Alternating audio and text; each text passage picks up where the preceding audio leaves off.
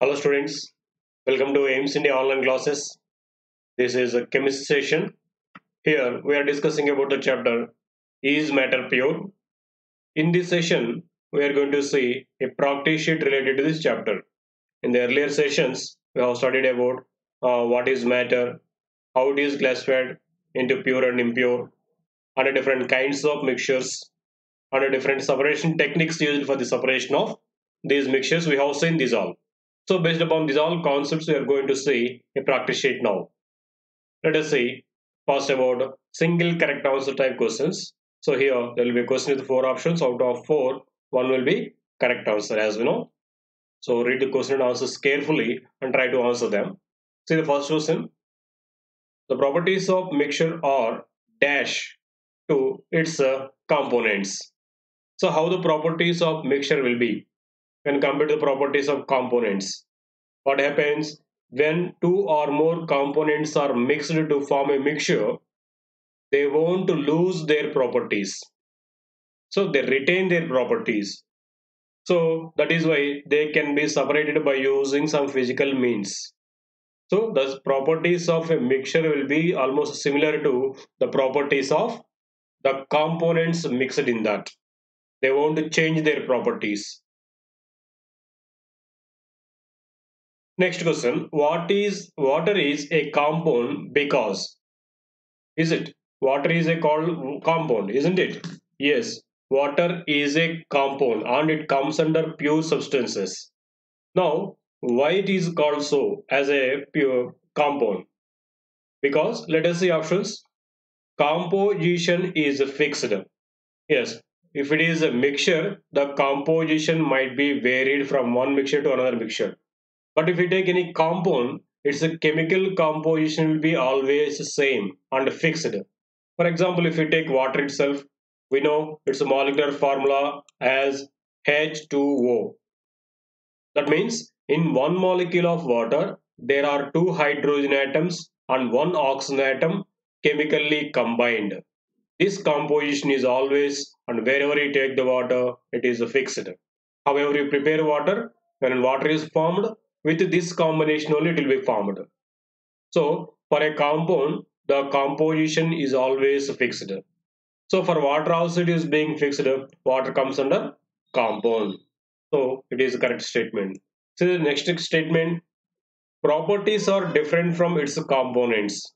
Yes, for compounds, the properties are being entirely different from the properties of the components combined chemically there. If we take in case of water itself, water is formed from two elements, hydrogen and oxygen. We know the properties of hydrogen. Hydrogen is a gaseous element and it is one of the lightest gases. It is lightest gas and it is highly explosive. It can burn in the presence of uh, air with a blue flame it causes blasting also so explosive gas it is and if you take oxygen oxygen is also one of the gaseous substance which is essential for breathing and dissolve. And is one of the mostly existing gas in the atmosphere after the nitrogen. So there are different properties of oxygens uh, oxygen and hydrogen. When these two combined chemically they form water h2o but the properties of water are being completely different from these two. Water is a liquid substance, it is non-combustible, non-supporter of combustion, and mostly used as a fire extinguisher. Isn't it? These are the properties of uh, water. So the properties of uh, chemical compounds formed will be entirely different from the properties of the components combined. So second statement is also true about water to say as it is a compound. Next one, components can be separated by chemical methods. By only chemical methods. Yes. Suppose here if you say water itself, water is formed from hydrogen and oxygen. These hydrogen and oxygen cannot be separated by using any physical method. These can be separated only by chemical means, chemical techniques only. For example, by passing electricity through this water by adding some acid to that or acidulated water. Then only water molecule will be split into hydrogen and oxygen gases. Otherwise, in any other physical methods, we cannot separate this compound. So generally, compounds cannot be separated by using physical techniques like filtration or some other sedimentation. These all we cannot use this. We cannot separate these compounds by using those. Only the compounds can be separated into their respective components only by chemical methods. So water also in the same way it cannot be separated by physical means and it can be only separated by chemical means. So this also proves as water a compound, chemical compound. So these are the three correct statements which are supporting to say as water is a compound. Now the correct answer will be all of these. Next one. Which of the following is a colloid? Say paint, blood, milk, these all will come under colloids. These are colloidal solutions. Which of the following will show Tyndall effect? What is the Tyndall effect? When a light is passed through a solution, then the particles present in the solution will scatter the light. So that seems like glowing. That property is called Tyndall effect. So which of these can show the Tyndall effect here? So the solution or mixture in which there are some particles this considerable size, they can show this Tyndall effect. Out of these given here, if we observe salt solution, will be the particles visible? No. When salt dissolved into water, that uh, uh, dissolves, dissolves into water. That disappears actually to say it forms a clear solution. Even vinegar solution also. When acetic acid is dissolved into water it forms vinegar. So there is no visible boundaries for these particles after the mixing. Even sulfur in water also. Actually sulfur won't dissolve into water it settles down. But whereas in milk fat particles are spread over in the water with considerable small size so when light is passed through this milk, these fat particles will scatter the light. So that is called showing Tyndall effect. So milk can show Tyndall effect because of the presence of fat particles in the water. Okay, next one. The process of separation of insoluble solids from a liquid is called. Yes, separation of insoluble solid from a liquid. How can we separate a solid from liquid? Generally, different techniques can be used. One of them is uh, filtration. If the solid is insoluble into liquid, then if we pass this mixture through a filter paper by using funnel, the liquid will come down and will be collected in the other container in the form of filtrate that insoluble solid substance will be remained in the filter paper that we call as residue. In that way, insoluble solid substance can be separated from the liquid by using filtration process. One more is a uh, decantation also. There what they do, they will generally allow this mixture of a solid, insoluble solid in the liquid for some time. Then it will settle down so after settling down, slowly they pass this uh, upper layers of this pure liquid into another container that is called decantation. They separate liquid from the solid in that. But here they're asking clearly the separation of insoluble solid from a liquid. That is a uh, most appropriate one here is filtration. By filtration process, you can separate this insoluble solid substance okay filtration the process used to separate oil and water. What kind of mixture is this oil and water? We know both are liquids but oil won't be dissolved into water. This kind of mixtures are called immiscible liquids. The mixture of two liquids which are not so dissolving into one another is called immiscible liquids solution mixture. So such kind of uh, mixtures. Generally, if you take oil and water in a container, one of the components will go down which is denser and the lighter density liquid will float on the other one. So in that way they form two separate layers. Such kind of liquid mixture can be separated by using a container called separating funnel. So, two immiscible liquids can be separated by using a separating funnel. Next one, what kind of solution is milk? What kind of solution is this? Just now we have seen in the previous questions. It's a colloid. So this can show Tyndall effect. Milk is a colloidal solution. Next, a liquid and a solid are found together in a single phase. What is this known as? What they are telling here, they exist in the single phase, means in the same state. For example, if we take uh, salt into water, actually salt is a solid substance. When you dissolve this common salt into water after stirring, we observe completely the mixture formed in the liquid state only. No solid is appeared or no solid is seen after mixing. So solid and liquid substances are mixed. Finally, they came to one state that is a liquid phase. Then that is called a solution or true solution. The mixture in which the components came into the single phase is called a true solution or solution to say simply. So here they're telling solid and liquid they came to single phase then that is said to be a solution. Okay, next. Which of the following is a homogeneous solution? What does it mean homogeneous solution? Here this also can be given the same in the same phase.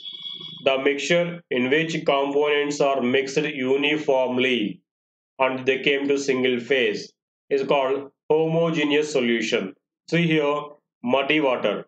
In that mud particles will be seen through the water. So it is not single phase or homogeneous. If you see bread, it is also uh, it is a, just we can say compound there. And concrete if you see concrete it is a mixture of uh, what we can say sand cement and some gravel water. These all are mixed. Even after mixing also these uh, sand and even uh, these uh, stone particles will be seen. So it won't come under homogeneous. Now if you see a solution of sugar in water what happens when you dissolve sugar into water it completely dissolves into it disappears into the water it takes the spaces present between the molecules of water. So it will come under, it will come to a single phase. It seems like a liquid. No solid particles of sugar will be appeared. So it can be said a homogeneous solution. The mixture of sugar and water is an example of homogeneous solution. Okay, next one. What kind of colloidal solution is an emulsion? So what is emulsion here? Emulsion is a mixture formed by mixing two immiscible liquids. So an immiscible liquid will be dispersed into another liquid that is called emulsion. Now we can say emulsion is a colloidal solution formed when a liquid dispersed in another liquid. Okay, liquid in a liquid uh, colloidal solutions are called emulsions. These uh, we can say uh, how face creams and these uh, Vaseline are examples for these uh, emulsions. Okay, next. What kind of solution is drinking soda or soft drink we can say? Drinking soda. How do they prepare this drinking soda? So they take some water into a container first. And then by applying high pressure they mix some carbon dioxide gas into this water. At high pressure we know as pressure increases solubility of gases into liquids increases. So by applying high pressure on this liquid and carbon dioxide gas will be dissolved into it. Now soda will be formed. So we can say soda is a gas in liquid mixture carbon dioxide gas is dissolved into water gas and liquid mixture it is Okay. Next. What kind of solution is amalgam? Yes, amalgams are also mixtures. Actually, these come under metal metal mixture actually, but in this, one of the metals will be mercury. When metals are dissolved into mercury, they form amalgams. They form a homogeneous mixture called amalgam. For example, if gold is dissolved into mercury, gold metal will be dissolved into mercury and forms a homogeneous solution that is called gold amalgam. If a silver is dissolved into mercury, that forms amalgam called silver amalgam. Generally, these amalgams are mixtures of mercury with some other metals. So we can say metals in mercury or some solids into mercury. Okay, generally these amalgams uh, like uh, silver amalgam, mercury, uh, silver, gold amalgam, these are used uh, in filling of teeth cavities. So these amalgams are formed by mixing some solid metals into mercury. So solid in mercury, amalgam is a type of mixture of uh, solid in mercury. Okay, next one. Which of the following operators is used to separate a mixture of immiscible liquids? What does it mean by immiscible liquids? Immiscible liquids means the mixture of two liquids which they do not dissolve one into another, which they do not mix each other. Such kind of mixture is called immiscible liquids mixture. For example, if you take oil and water or kerosene oil and water, when you take the mixture of these two, even though you stir them well, they won't mix one into another. They form two separate layers. The heavy liquid water will go down and the lighter liquid oil or kerosene oil will float on the water. So such kind of liquids are called immiscible liquids. These liquid mixture can be separated by using a uh, funnel called separating funnel. Okay. By using separating funnel, two immiscible liquids can be separated. Next one. The materials which contains at least two pure substances and show the properties of their constituents is called Yes, when two or more pure substances combine together and forming a uh, matter which show the properties of the constituents mixed in it is called a mixture. So it's called a mixture. Next one. What is a solution of iodine in carbon tetrachloride called? carbon tetrachloride. Actually, iodine is soluble in uh, some solutions like some liquids like alcohols and one of the organic substance uh, carbon tetrachloride. So actually the solutions can be, liquid solutions can be classified in two types. Aqueous solutions or non-aqueous solutions. Here aqua represents water. Aqua nothing but water. Aqueous solutions means the solutions in which the solvent is water. So some solid substances will be dissolved in water, then the solution formed are called aqueous solutions. If I say aqueous hydrochloric acid, that means hydrochloric acid is dissolved into water. So that water solution of hydrochloric acid is called aqueous solution. Aqueous solution means the solution in which the solvent is water some other solutions will be there in which water is not present. Even though they don't have water, some liquid will be there that dissolves some other solid substances into it. Such kind of liquids in which there is no water are called non-aqueous solutions. Means there is no water in that solution. So here if you see iodine dissolved into carbon tetrachloride and forming solution. But here it is a solution which does not contain water. Now we can say it is a non-aqueous solution. And even this iodine often dissolves into alcohol. Then also it is called non-aqueous solution and it is also called tincture of iodine. But here the uh, solvent given is carbon tetrachloride. then it is simply called non-aqueous solution.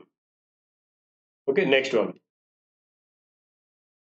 Which of the following is a characteristic of both mixtures and compounds?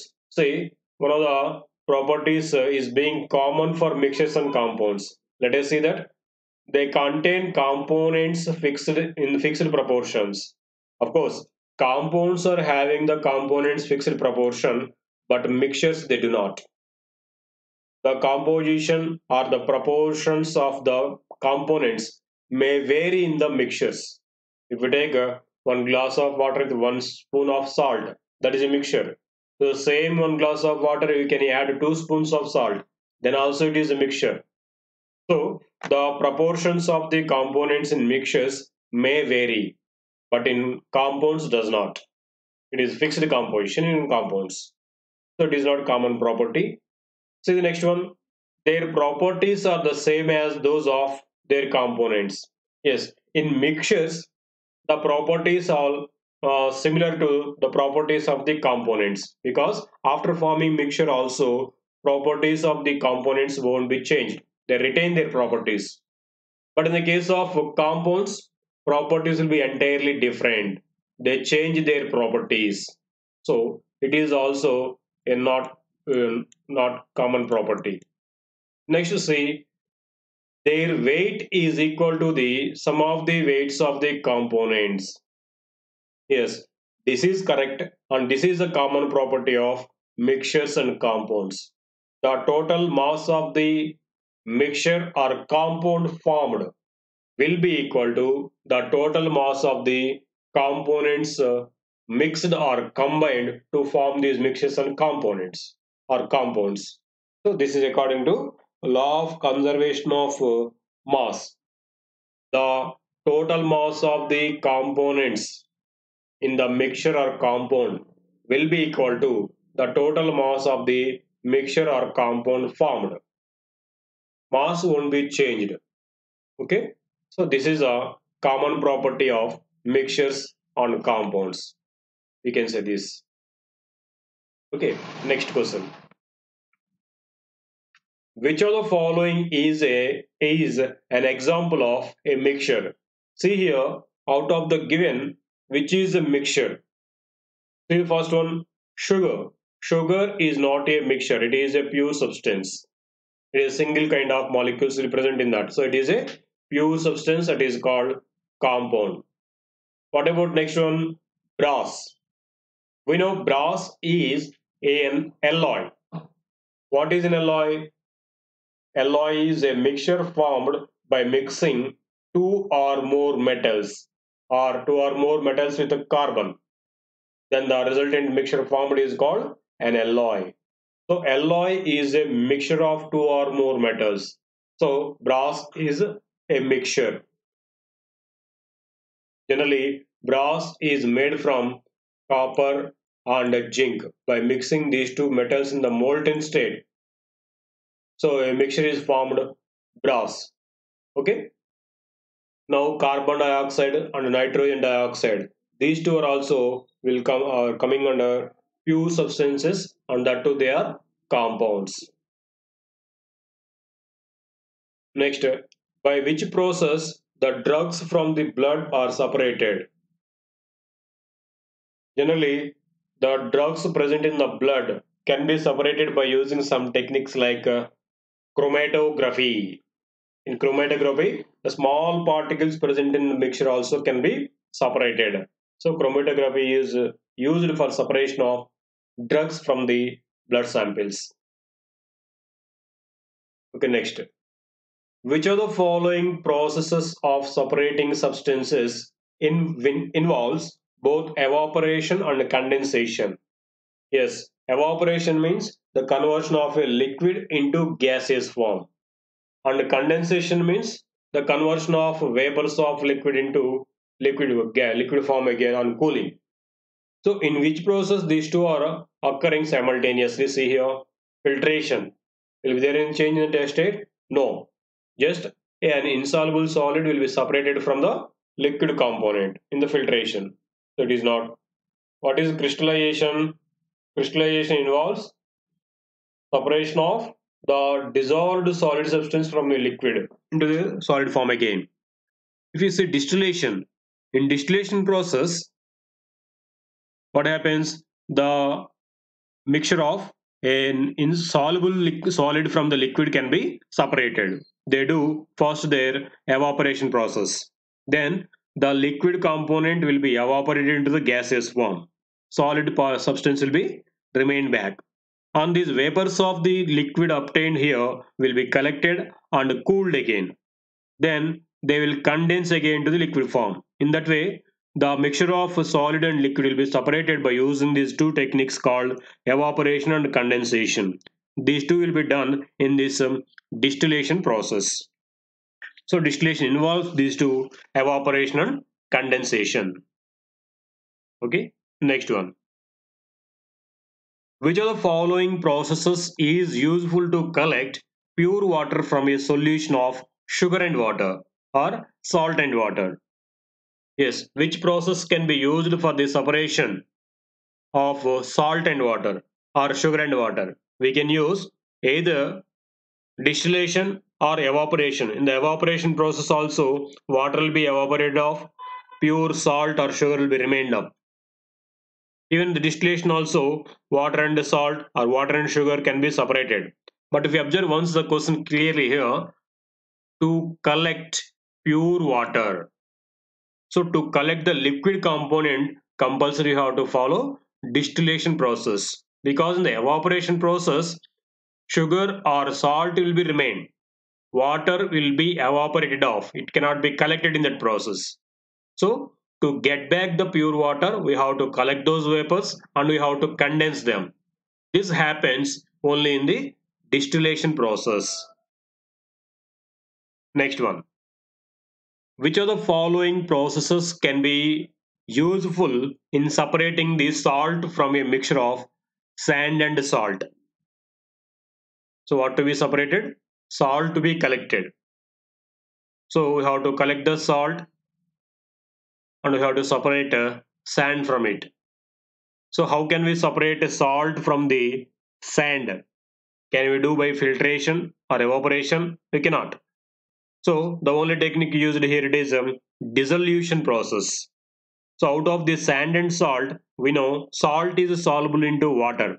If we pour water into this mixture, salt will be dissolved into water, whereas sand remains undissolved. So when you under when you take this to filtration, sand can be separated from this mixture. Now salt water will be separated.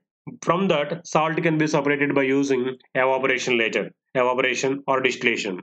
So here the technique used for the separation of salt from sand is uh, dissolution, dissolving, dissolving the mixture into a suitable solvent.